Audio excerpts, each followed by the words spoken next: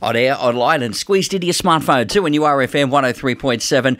Our exercise physiologist, Mark Goswell, is here. And Mark, the last few times we've had you along, you've been uh, trekking through this series on pain. And today, you want to give us this concept that pain is actually a good thing. So please explain. pain is a good thing in terms of the fact that we need pain to alert us that something's going on. Mm. Um, yeah, people that are born in the fact that they can't usually feel pain actually don't survive very long because they don't get that warning system. And so the way you want to think about it is pain is like a smoke alarm. So if the smoke alarm goes off in the kitchen, it's just warning you that there's potential danger. If you ignore the smoke alarm, the kitchen burns down and everything yeah, you got to get a new kitchen and there's a whole lot of danger and it's very risky. And but the realities are, if you just go and put out that fire, get on top of it, mm. you've uh, addressed the issue, and then the pain is no longer a problem. So I'm trying to get in in my head here that uh, a couple of weekends ago, when I went to bed, slept wrong, had a, a pain underneath my shoulder blade that caused me to walk a bit wonky all day, not pay attention. I then fell over completely sprained the you know what out of my ankle. As I fell to the ground, the pain intensified in my shoulder, obviously my ankle, but I fell into my right knee, skinned that knee with some massive carpet burn that still hasn't healed. All of that pain that I experienced, and plus a few other words, that was that was good. No, that wasn't good.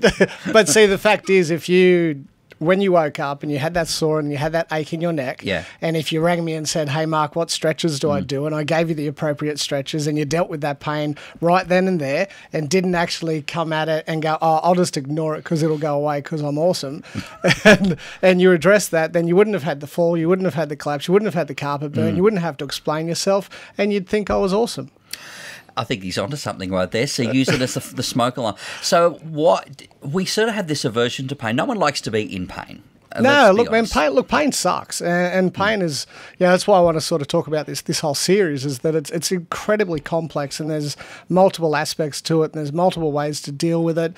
But just by ignoring it, it's not going to go away. It's the same thing as when you get the advice of just push through the pain and you'll learn mm. to deal with it. That's coming from someone who clearly hasn't lived with pain, dealt with pain, or actually has a concept of reality. It's like pain is a bad thing. Pain pain sucks, but we've got to learn how to manage it. And there's so many multiple factors associated with learning to manage it. And one of those things is just listening to it. Don't let it control your life. Learn to control the pain. And there's multiple. As I said, there's so many ways to deal with it. It's very hard to conceptualize it over the radio. But yeah, look at it as a warning system. It's tricky because there's a hell of a lot of things that uh, if we can try and try and unpack all of that very quickly, it's it's good because it, it stops us at the point of doing the activity or the, whatever the motion, whatever it is that, that's got us there in the first yeah. place. Um, then on the other hand, we don't want to sort of listen to advice of those to say push through it and live through it. But on the other hand, it's it's necessary. So it's really it's really tricky to navigate where the middle yeah, ground is. Yeah, yeah, and that's where like seeing a health professional mm. comes into it to sort of develop your understanding and increase your knowledge around it. It's like if you're creating a movement that causes pain, then find another way to do that same movement. Don't keep repeating the same process. So yeah, if you're getting up and down out of a chair and you're getting pain within the knee, then possibly you're not recruiting the muscles around that uh, part of the joint to limit the amount of load through the actual joint itself. So modify your behaviours, change the positions, develop some strength, develop some control. There's so many factors to it that, yeah, that, that it, it is it is very complex and yeah, but we're just trying to unpack it that mm. little bit.